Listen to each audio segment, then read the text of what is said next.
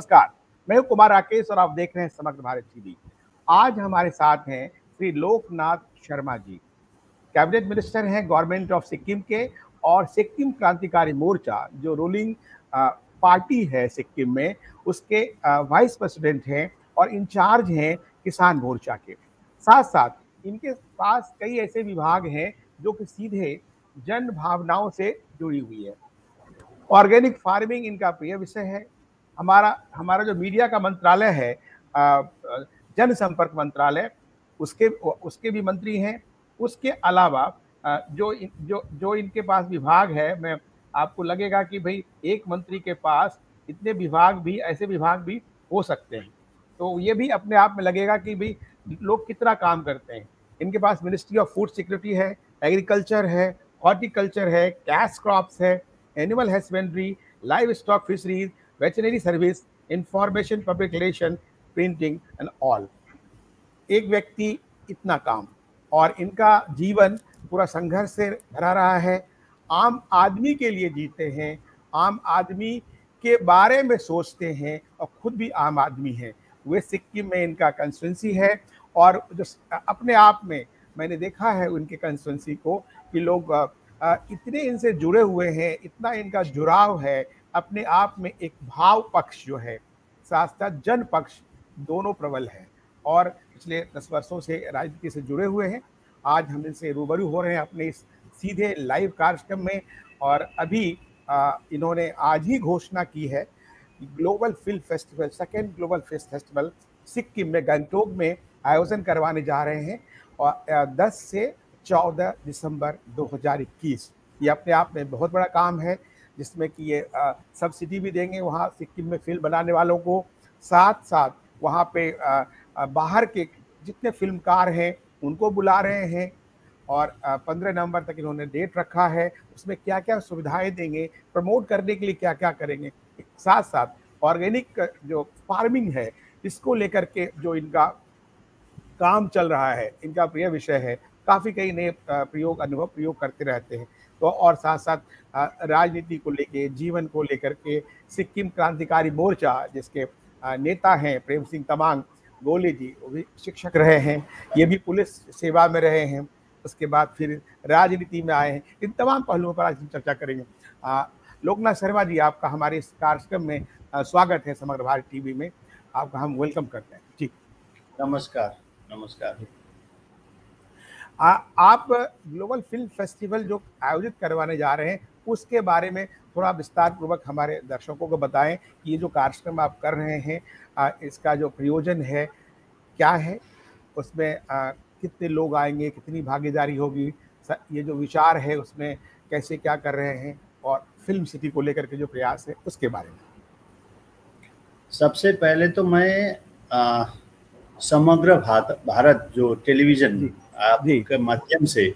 और मैं सिक्किम सरकार के सम्माननीय मुख्यमंत्री एवं हमारा सिक्किम क्रांतिकारी मोर्चा पार्टी का अध्यक्ष श्रीमान प्रेम सिंह तामांग गोले जीव के तरफ़ से, समग्र सिक्किमी जनता के तरफ़ से मैं भारतवासियों को जो भी ये माध्यम से सुन रहे, देख रहे, उन सबको मैं आभार व्यक्त करना चाहता हूँ।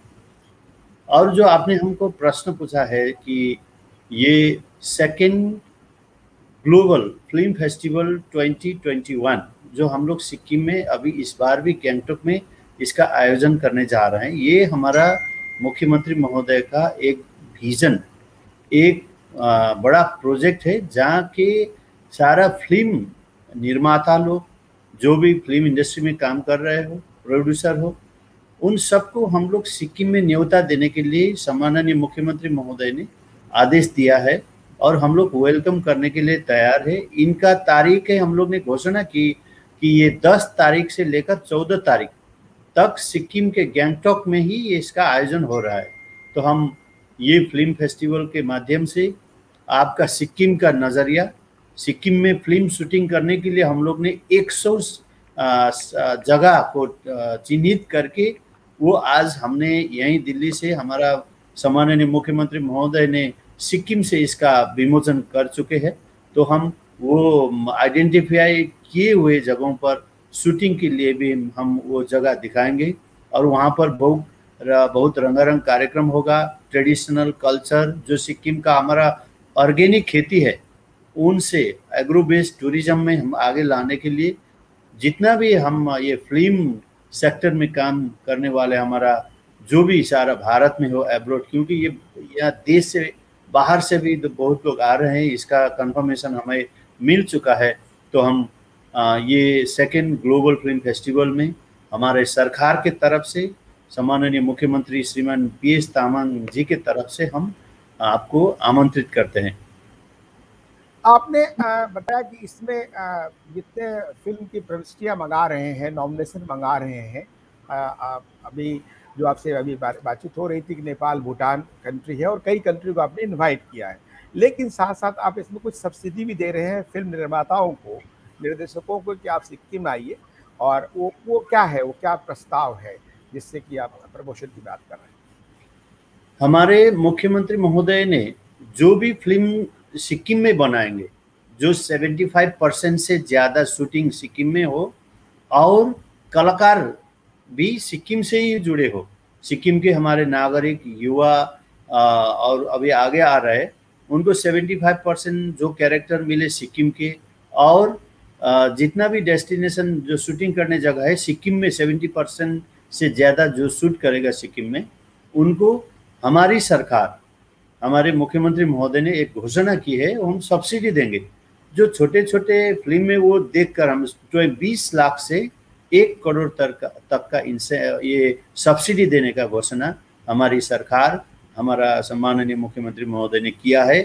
इसका सारा चीज़ हम लोग अभी तैयार कर रहे हैं सिंगल विंडो बनाने जा रहा है ताकि कोई निर्माता आए एक उनका आवेदन पेश करें और सारा चीज़ सरकार हमारा आईपीआर डिपार्टमेंट जहाँ जहाँ परमिशन लेना हो सब क्लियर करके अगर वो ऑथेंटिक है सही आदमी ने आवेदन चढ़ाया तो उनका हम सिंगल विंडो से उनका सब परमिशन दे देंगे और वो सिक्किम में शूट करेंगे उसको वेरीफाई करके जो सब्सिडी देना है उनका जो सिक्किम से सब्सिडी के अलावा हम बहुत होटल में गाड़ी में उसका भी हम गवर्नमेंट के तरफ़ से जो भी व्यवस्था हो सकते हैं वो हम कंसेशन में भी उनको सहायता करने वाले हैं।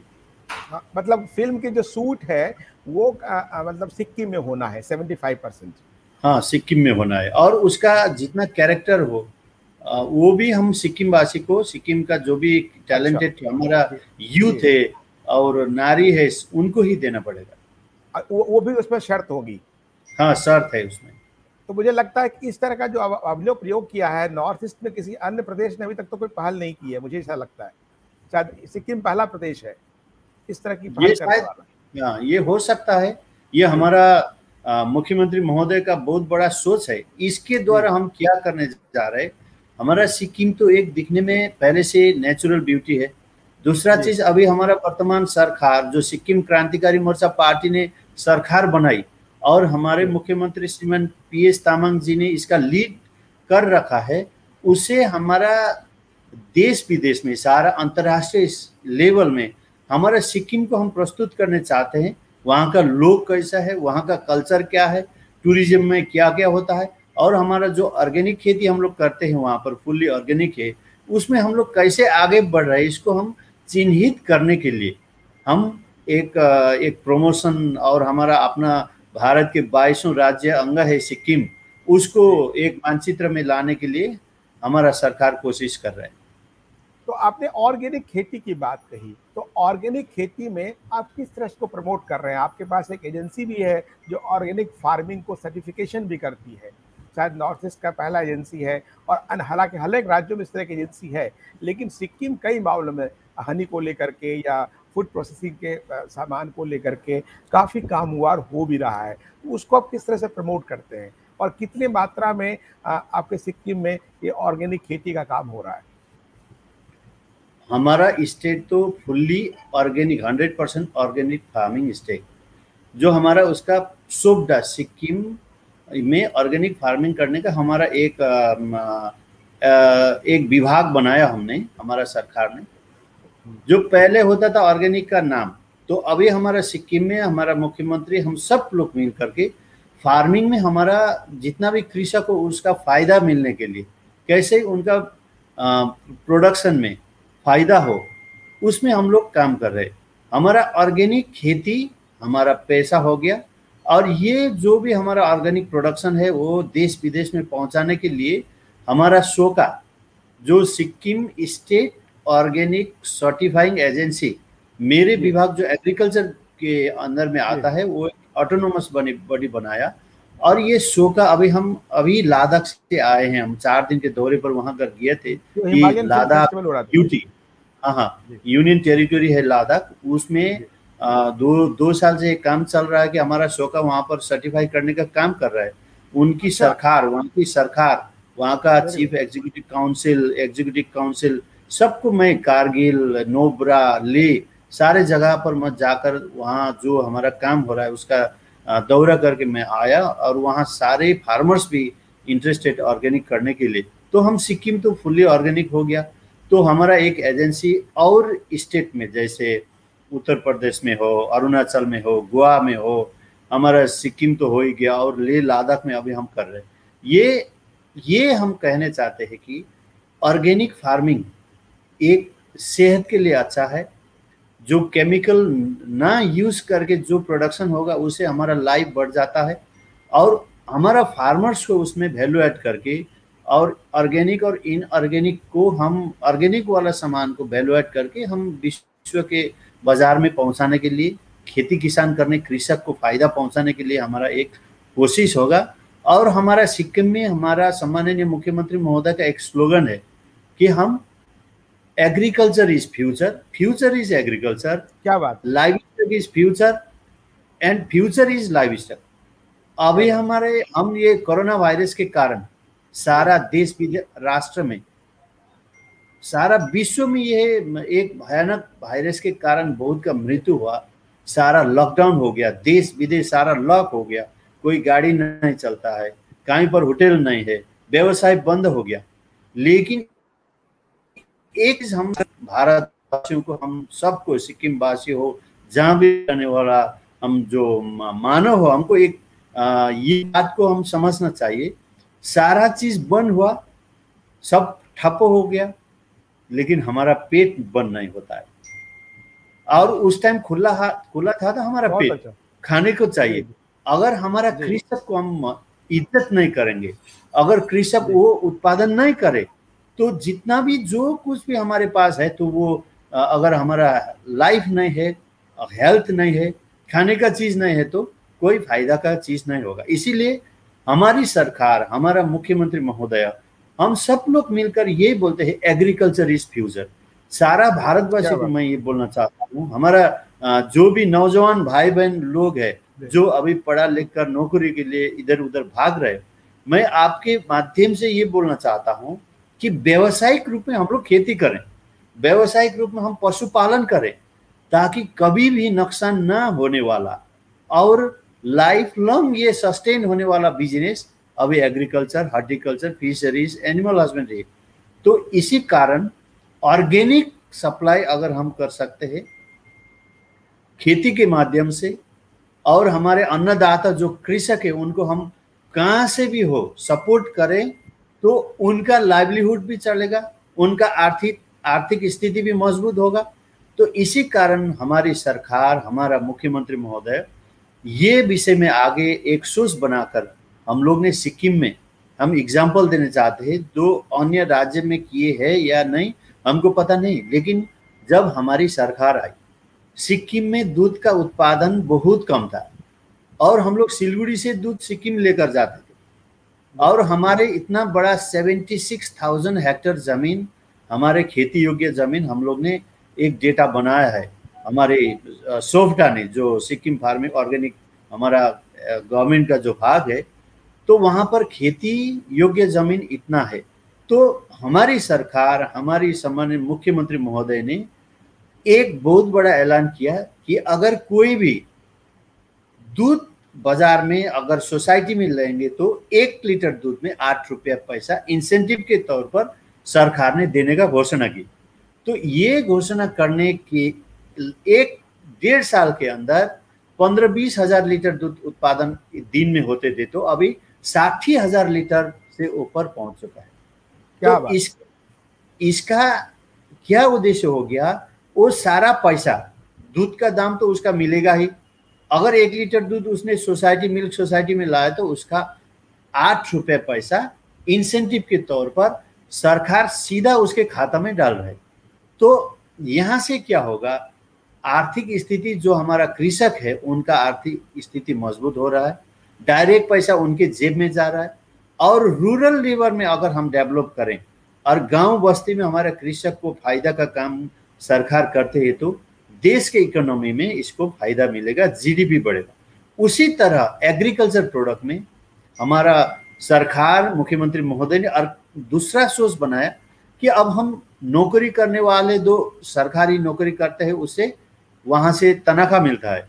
उनका डीए मिलेगा टीए मिलेगा और हेल्थ का हेल्थ करने से वो रिम्बर्समेंट मिल जाता है। लेकिन हमारा कृषक का क्या मिलेगा? उसका खेती, कोई जंगली जानवर आकर खाए तो वो नुकसान में चले जाएँगे और गरीब होंगे। इसीलिए मेरी सरकार, मेरा मुख्यमंत्री महोदय ने एक और दूसरा एक हिस्टोरिक सोच बनाकर दूसरा काम शुरू किया। उसमें से हमारा जैसे एक के जी आप बड़ा एल सेल करेगा तो सरकार हंड्रेड रुपीज़ सब्सिडी देगा। उसका इंसेंटिव दे देंगे। जो उसका मार्केट है, वो तो मिलेगा ही मिलेगा।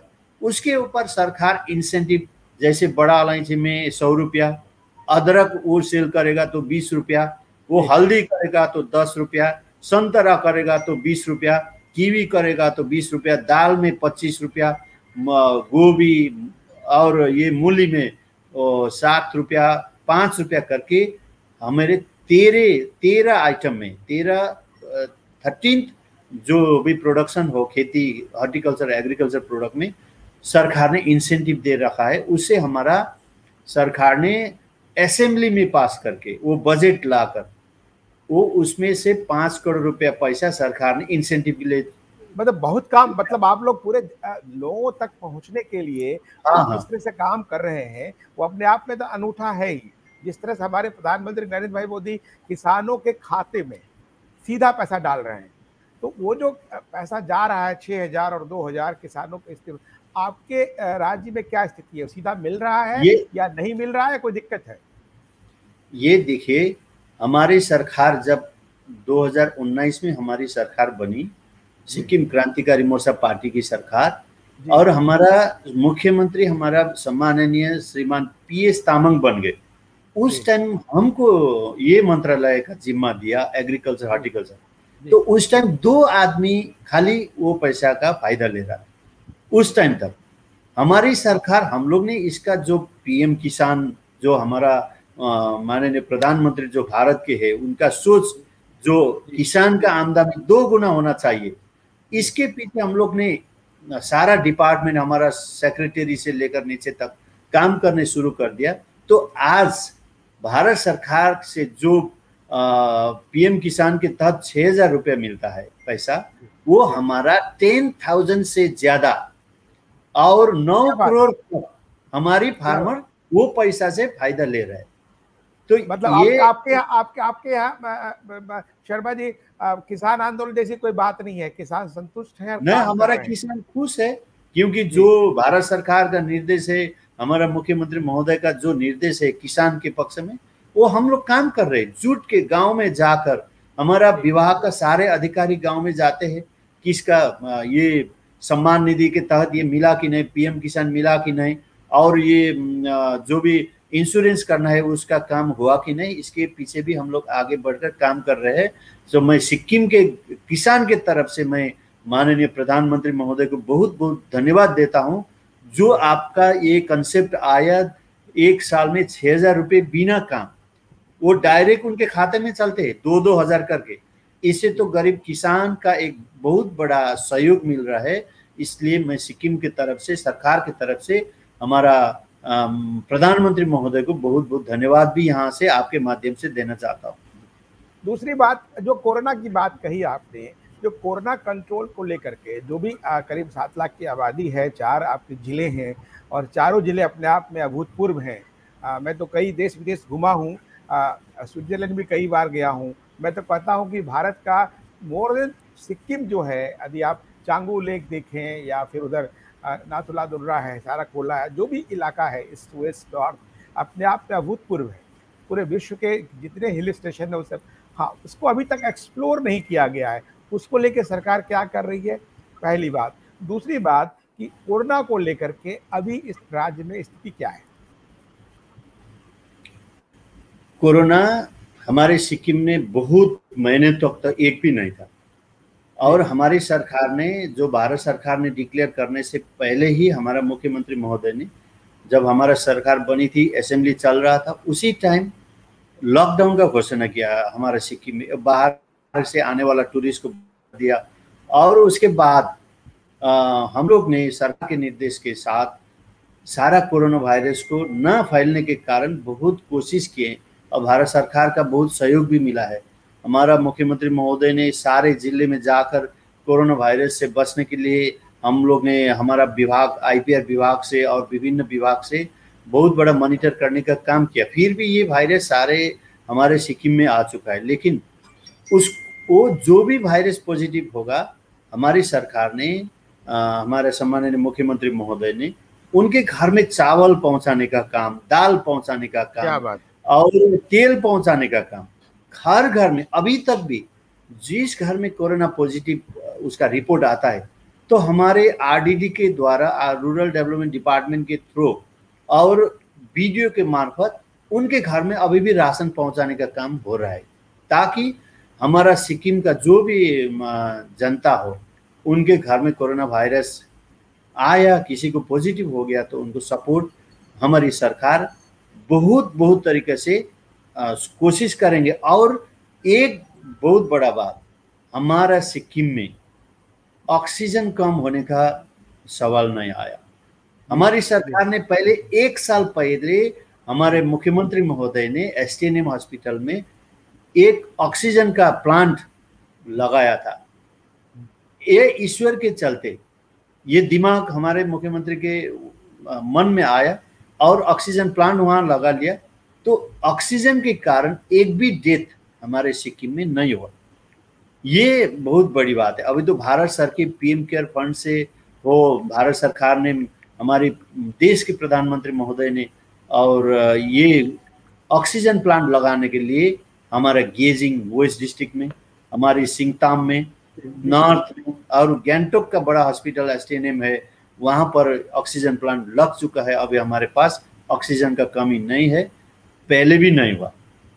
तो मॉडल स्टेट एक मॉडल स्टेट बना रहे हैं। मतलब दो वर्षों में ढाई साल हो गए आपकी हाँ सरकार को। पहली बार नई पार्टी नई सरकार नए प्रण और नया विजय का संकल्प। आपको अभी तक जो भी पिछले सरकार रही है मैं उसका नाम लेने की ज़रूरत नहीं है लेकिन अभी जो आपने ढाई साल में आपको क्या लगता है कौन सी महत्वपूर्ण उपलब्धि आपने हासिल की जो कि आज तक सिक्किम प्रदेश को नहीं मिल सका? दो तीन चार ऐसी उपलब्धियाँ जिसपे आपको लगता है फक्र है आपकी पार्टी को भी और आपकी सरकार को भी। नहीं ये तो एक अनगिनत हमारा उपलब्धि बढ़ रहा है। जैसे मैंने एग्रीकल्चर का बात कहूँ जी। एग्रीकल्चर दो पीएम किसान जो सम्मान निधि था वो दो आदमी को पैसा मिल रहा था। हमारी सरकार आने के बाद हम लोग हाँ दो दो आदमी थे। 2019 में खाली दो आदमी मिल का पैसा मिल रहा था। छह हज़ार रुपया।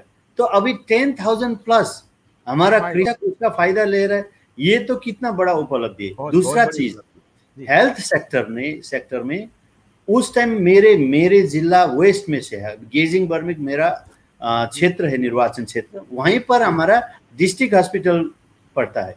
वहाँ पर एक भी कोई एक्सरे का अच्छा मशीन नहीं था। वहाँ पर आईसीयू का कोई प्रबंधन नहीं था। वहाँ पर ब्लड बैंक का परिस्थिति नहीं था। टेस्ट करने के लेबोरेटरी अच्छा नहीं था। और वहाँ का सारा पेशेंट वहाँ से रेफर होकर S T N M S T N M से सिलगुड़ी दिल्ली कहीं जाना पड़ता था। लेकिन हमारी सरकार हमारा मुख्यमंत्री महोदय ने ये हेल्थ सेक्टर ने इतना चेंजेस किया।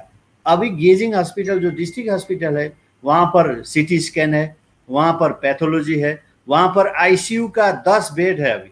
और हम लोग डायलिसिस अपने ही मतलब वहाँ काफ़ी काम काफ़ी काम हुआ है इसका मतलब।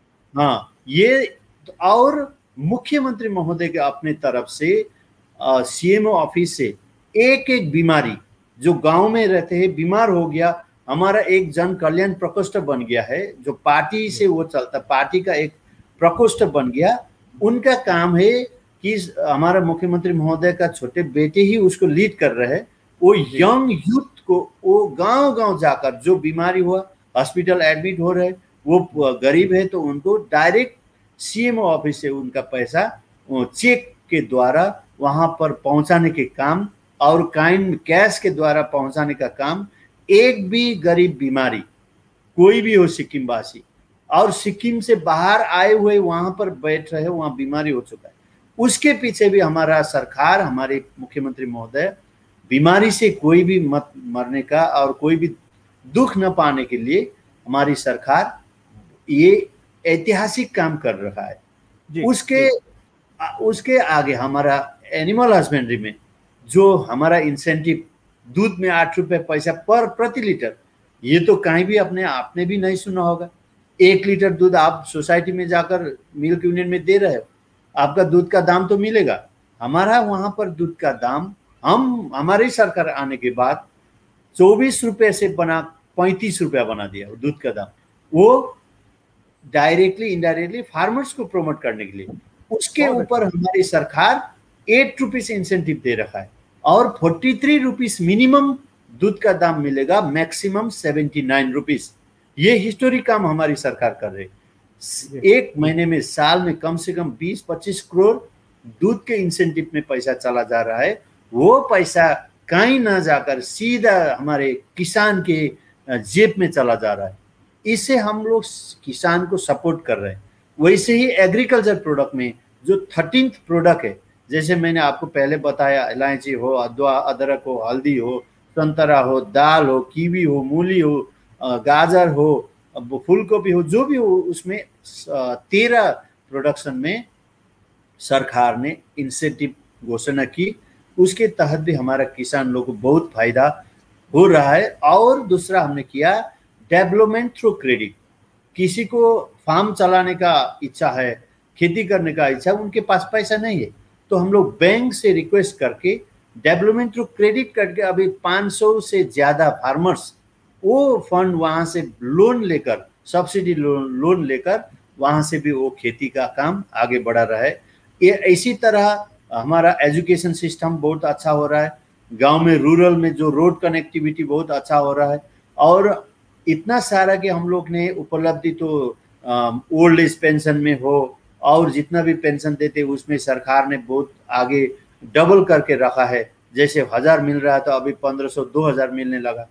इसी तरह हमारा डेवलपमेंट में, और जो भी हो रूरल डेवलपमेंट हो हेल्थ सेक्टर हो एजुकेशन हो एग्रीकल्चर हो हॉर्टिकल्चर हो एनिमल हस्बेंड्री हो फिशरी हो, और सारे सेक्टर में हमारी सरकार जनता को सुविधा पहुँचाने के लिए बहुत कोशिश कर रहे हैं। जी। आप लोकनाथ जी, आप तो काफ़ी, आपके पास विभाग का काफ़ी आपने अध्ययन है, लगता है काफ़ी ज़मीनी स्तर पर आप काम कर रहे हैं।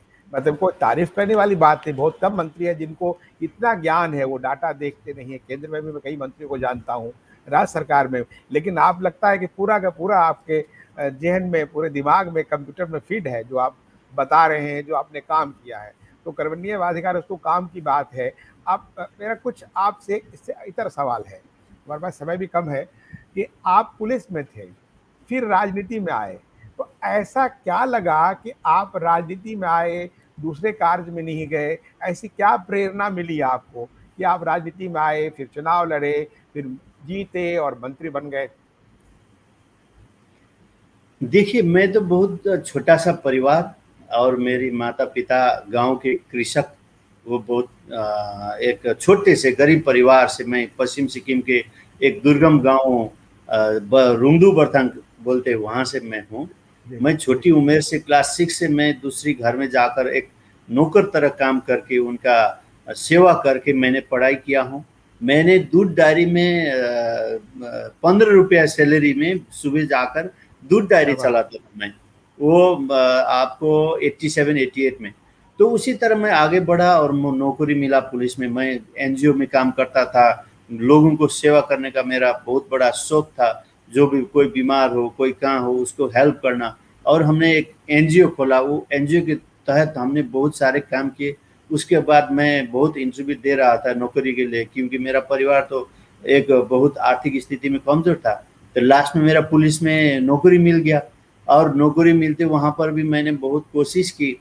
और लास्ट में जाकर हमारा मन राजनीति में आने के लिए मैंने सोचा और मैंने 2013 2013 में मैंने वॉल्टियर रिटायरमेंट होकर मैं राजनीति में आया। 2024 में सिक्किम हमारा जो अभी सम्माननीय मुख्यमंत्री है, उनने पार्टी खोला, एक हम लोग सपोर्ट करते थे। तो एक संघर्ष था।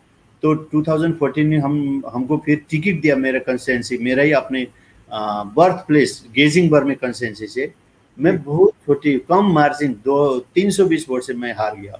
तो मैंने हिम्मत नहीं हारा। तो उसके बाद पहली पहली बार कब चुनाव लड़े थे? 2014 में। अच्छा चौदह में चुनाव मैंने हमारा बहुत कम मार्जिन से हम हार गए। फिर भी ठीक उसी दिन नेक्स्ट डे से मैंने काम शुरू किया। और हमारा पार्टी अध्यक्ष श्रीमान पी एस तामंग जी, अभी मुख्यमंत्री महोदय ने हमको आशीर्वाद दिया और पूरा परिश्रम करके 2019 में हम फिर चुनाव जीत करके हम आए इधर। और हमको एक मौका दिया कि काम करने के लिए। मैं शुक्रगुजार हूँ, हमारे पार्टी अध्यक्ष मुख्यमंत्री महोदय का सेवा करने का मौका मिला। फिर हमारा विभाग हमने दिया, हमको दिया एग्रीकल्चर, हॉर्टिकल्चर। में जहाँ काम करता था, वही हमारा शौक था और मेरा अभी आईपीआर डिपार्टमेंट में हमारा काम है प्रिंटिंग का काम भी हमको दिखना है और सारा ये प्रोडक्शन जैसे सिम्पेड हो मिल्क यूनियन हो ये सारे चीज़ को मैं देख रहा हूँ। हमको मैं ये काम करते हुए ताकि हमारा जो चेंजेस आ रहा है सिक्किम में एग्रीकल्चर में हॉर्टिकल्चर में एनिमल हस्बेंड्री और दूसरे विभाग में भी तो इसे मैं इंजॉय कर रहा हूँ। हमको आनंद मिलता है किसी को नौकरी मिले किसी का फ़ायदा हो तो हमको आनंद और सुख का नींद आता है। अगर किसी का दर्द हो तो हम वो दर्द को हम फील करते हैं क्योंकि मैं भूखे भी सोता हूँ सोया सोया हूँ। हमारे जानते हैं भूख के एहसास को भी जानते हैं। हाँ जानते हैं। मेरे वाजपेयी जी कहते थे कि भूख उतना भयंकर नहीं है जितना भूख का एहसास। हाँ हाँ। उनका बहुत ये हमको पता है। हमको पता है मैं एक हमारा एक दिल का बात है। हमारे घर में एक एक पलंग था पिताजी और माताजी वहाँ पर रहते थे, हम इधर उधर सोते थे। एक दिन हम मेहमान आया, हमको अभी भी पता है, मैं सिक्स स्टैंडर्ड में पढ़ रहा था तो हमारे पास ले कपड़ा, वो जो मेहमान को देने के बाद हमारे लिए कपड़ा नहीं था। तो एक छोटे इधर दूसरे कमरे में जाकर हम लोग, जो गुंदरी बोलता है, वो पराल से बना हुआ होता है उसी में हम रात काटना पड़ा था। वो हम कहीं, कभी भी नहीं बोलते क्योंकि एक मेहमान घर में आते समय भी हमारे पास, हमारे घर के लिए सफिशेंट कपड़ा भी नहीं था और मेरे माता पिता भी वहाँ पर रात भर वैसे ही जागा रहे थे ठंडा महीना था जनवरी के टाइम तो उस परिवार से आज तक ये यात्रा हो गया। अभी हम देश में काम कर रहे अभी हम लादा घूम के आए। हमारा मुख्यमंत्री महोदय ने ये मौका दिया। काम सेवा करने के लिए हमारा ज़िंदगी बहुत अच्छा, बहुत बहुत बहुत सही। अब अभी आपसे एक छोटी टिप्पणी जो राकेश टिकैतन कंपनी जो किसान आंदोलन कर रहे हैं उससे कितना सहमत हैं आप? इसमें हमारा सिक्किम में जो किसान में हमारा उतना हम लोग ठीक ठाक है। तो ये बात हमरा बोलना मेरा उचित नहीं होगा कि ये नेशनल लेवल का काम है। फिर भी जो किसान के पक्ष में है हम उनको सपोर्ट करते हैं। नहीं सही ठीक है लेकिन अभी आपका कोई ऐसा सपना जो अभी आपने बचपन से संघर्ष किया हर उस संघर्ष की उस घड़ी को देखा जैसे हमारे प्रधानमंत्री नरेंद्र भाई मोदी ने चाय बेची और दे, देश के सबसे बड़े आ, मदर ऑफ़ डेमोक्रेसी के वो प्रधानमंत्री हैं। अभी जब अमेरिका में गए उन्होंने जो कहा यूनाइटेड नेशन में कि India is a mother of democracy तो ये एक गर्व की बात है भारत के लिए भारतवासियों के लिए। अभी हम सब भारतवासी हैं।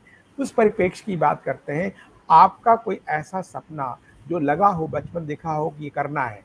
आपने समाज सेवा काम किया, बचपन से प्रण था, आपने संघर्ष भी देखा, गरीबी भी देखा और आज मंत्री भी हैं, लेकिन अभी भी अपने को वहाँ से अटैच पाते हैं। आपका ऐसा कोई सपना, एक आदर्श ऐसे सिक्किम को बनाने में लगे हुए आप लोग, ऐसा कोई अधूरा सपना कि इसको पूरा करना है, जनसेवा के लिए, राज्य के लिए, ऐसा कोई सपना आपका जो अभी तक पूरा नहीं हुआ हो। बहुत कुछ है हमको आगे करना। हमारा सपना तो नहीं बोलते हैं, सपना तो सपने में जो जो देखता है विपन्न में नहीं होता है ना। हमारा परिकल्पना, हमारा मुख्यमंत्री बोलते हैं, हमारा सपना नहीं, परिकल्पना। यथार्थ में अभी किया करना है, हम ये करना होगा। सपना देखने से तो फिर सपना ही रह सकता है। सपना में पैसा इतना होता है हाँ अंग्रेज़ी में विजन कहते हैं एक दृष्टि हाँ हाँ, हाँ विजन हमारा हाँ। आगे आकर सिक्किम को एक भारत में मॉडल स्टेट बनाना। और हमारा पार्टी सिक्किम क्रांतिकारी मोर्चा पार्टी और हमारा मुख्यमंत्री महोदय का जो सोच है हमारा घोषणा पत्र है उनको पूरा करना। सिक्किम के जितने वर्ग के आदमी है जैसे बेरोजगार युवा युवती है और वहाँ पर इंटरप्रिनर है वहाँ का कर्मचारी हो जो भी हो सिक्किम में जो रह रहे हैं उनको सपोर्ट करना और किसी को चैन का सुख का नींद देना और उनका सुख देना ही हमारा परम कर्तव्य होगा और दूसरों को सेवा करना और सिक्किम को एक आदर्श स्टेट बनाना हमारा कर्तव्य होगा। हम यही करते रहे। बहुत बहुत धन्यवाद लोकनाथ शर्मा जी आप हमारे इस कार्यक्रम में आए और आपने जिस तरह से अभी सिक्किम को आपको मॉडल स्टेट बनाने का सपना है अब मुझे लगता है कि जल्दी वो पूरा होगा जिस तरह से आपकी पार्टी आपके मुख्यमंत्री और सभी लोग बनयोग से लगे हुए हैं। साथ साथ आपने कहा कि जो प्रधानमंत्री हमारे नरेंद्र भाई मोदी का जी को जो स्वप्न है उस स्वप्न में आपका स्वप्न कहीं न कहीं जुड़ता है कि उन, उन उनका भी वही स्वप्न है कि जन जन सबका साथ सबका विकास सबके लिए प्रयास। और तो ये ये जो नारा है तो उसमें आ, मैंने देखा भी है देख भी रहा हूँ आप लोग कर रहे हैं। तो आपको काफ़ी यानी आपको अनंत शुभकामनाएँ आपके जीवन के उस मिशन के लिए जो आपने मॉडल स्टेट बनाने की बात कही है। और जिस तरह से आप लोग निर्विकार निष्काम भाव से लगे हुए हैं हम अब आशा करते हैं कि आपका ईश्वर से प्रार्थना करते हैं कि आपकी जो शुभकामना है सिक्किम को एक मॉडल स्टेट भारत बनाने का विश्व में वो पूरा हो। अब हमारे कार्यक्रम में आए, आपका बहुत बहुत धन्यवाद। जय हिंद, जय भारत। नमस्कार।